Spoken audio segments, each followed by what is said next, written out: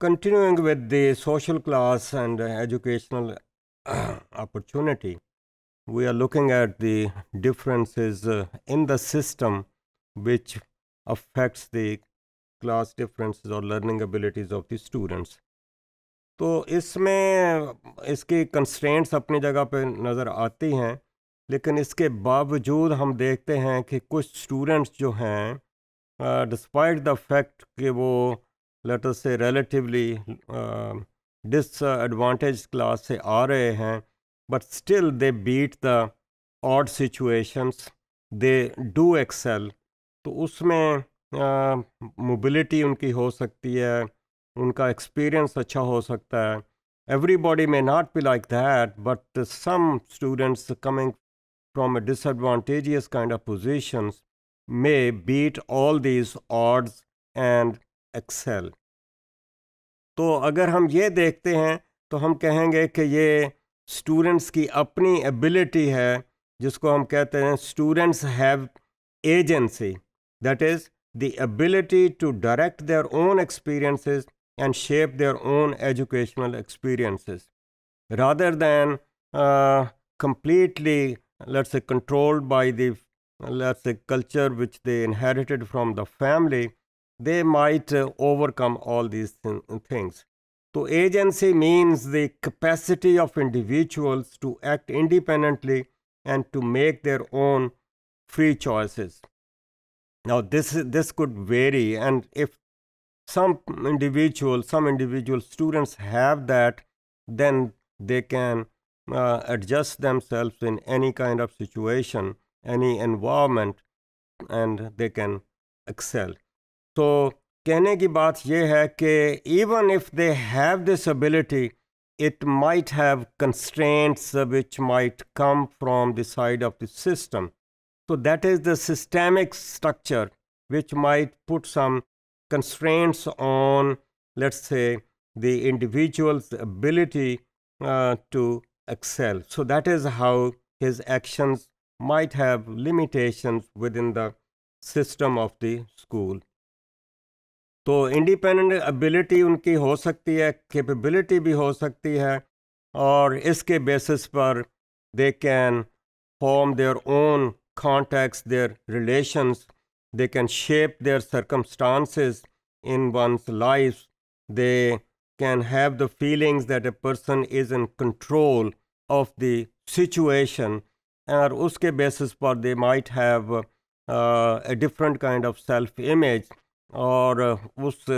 में इंडिपेंडेंस की बात आ रही है कॉन्फिडेंस की बात आ रही है सेल्फ कॉन्फिडेंस की बात आ रही है, जिसके बेसिस पे they might feel they that they can adjust they can over the odd situations and they can move up so there is there is the continuing importance of peers and culture system में क्या है? System में contemporaries हैं और system में क्या है? Culture है। एक उनकी अपनी पुरानी कल्चर है फैमिली की कल्चर है। एक स्कूल की कल्चर है which is let's say more govern by the middle class values तो अगर ये ऑड सिचुएशन आती है तो they might be having might have the self confidence that they can adjust to these kind of situations. They might say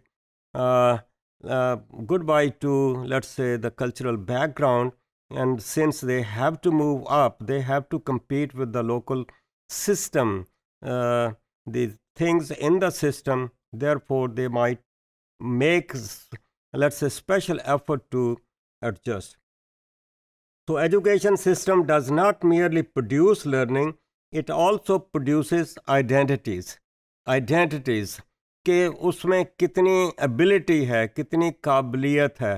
okay काबिलियत है, वो समझता है सेल्फ कॉन्फिडेंस है, उसके बेसिस पर might let us say fight in the system and might navigate to let us say end up in such let us say situations with such groups of individuals which could help him to move up so कभी uh, इस किस्म की situations आती हैं जिसमें कि बच्चे जो हैं एक्सेल कर सकते हैं so, स्कूल्स ऐसे हैं जहाँ के बच्चे come in contact with people beyond their families of origin. Okay यहाँ तो फ़र्क आ रहे हैं इंडिविजुअल्स uh, फ़र्क हैं बच्चे भी हैं तो they might be coming from different areas different places and they interact with children from different backgrounds and they learn about diversity and differences diversity of uh, let's say children's background diversity in the culture diversity in thinking in the patterns of behavior so social class boundaries and tensions emerge uh, because preferences for playmates for their own social class background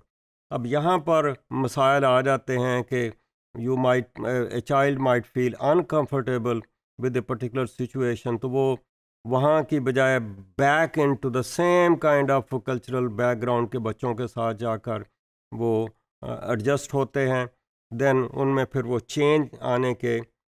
मसाइल मसाइल आ जाते हैं उसमें segregation आ जाती है उसमें exclusion आ जाती है। और ये सेग्रीगेशन एक्सक्लूजन जो है it helps in the perpetuation of uh, the same kind of uh, let's say gap between gaps between different social classes. तो मिडिल क्लास स्टूडेंट्स तो वो वैसे ही हैप्पी बिकॉज़ स्कूल की कल्चर ही उनको कंफर्टेबल करती है। तो ये जो वर्किंग क्लास के लोग हैं ये गेट द मैसेजेस के they are unfit in that situation तो they might themself for their school failures and then their socio economic background so a pattern emerges by which students define themselves their interests and their goals in opposition to their peers तो ये typically along social clans ये गोल जो हैं social class के साथ उनकी alignment हमें दिख दिखती है तो class based polarisation of student cultures जो मिडिल क्लास के हैं दे आर कंफर्टेबल हियर जो लोअर क्लास से आ रहे हैं दे आर अनकम्फर्टेबल हियर तो वो जहाँ कंफर्टेबल हैं कंफर्टेबल वो होंगे अपने जैसों के साथ। तो यहाँ पर फिर सेग्रीगेशन की बात आ, जा आ जाती है। दो आप पोल्स अपार्ट कह सकते हैं कि ये वेल ऑफ़ लोग हैं ये डिसएडवांटेज लोग हैं। तो दैन इनकी कल्चर में फ़र्क हो गई टेंशन भी आ सकती है। और वो जो लोअर क्लास वाले वो समझते हैं कि इनको फोर्स किया जा रहा है कि वो अपनी वैल्यूज़ चेंज करें तो वो मसला हो जाता है। So that is how it becomes a problem so working class youth reject an educational system that privilege middle class culture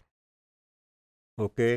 और uh, इसके बेसिस पर they might become rebellious over here and in the society as well.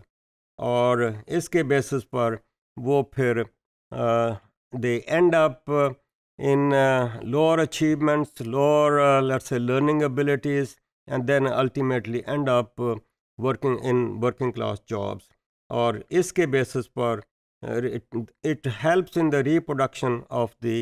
social class structure so students have identities based on class gender and ethnicity so they try to let's say navigate and they end up at the places or in the groups where they feel comfortable and that affects the in the development of their identities. So, navigation of peer cultures by the working class students sometimes leads to contests but often reproduce social inequality. कुछ हैं जो इसमें आ, अपने आप को odd situation से निकल कर आगे निकल जाते हैं और बाकी जो हैं, वो शायद they end up in the same kind of situation and that's inequality जो और जो गैप है between the social classes that continues.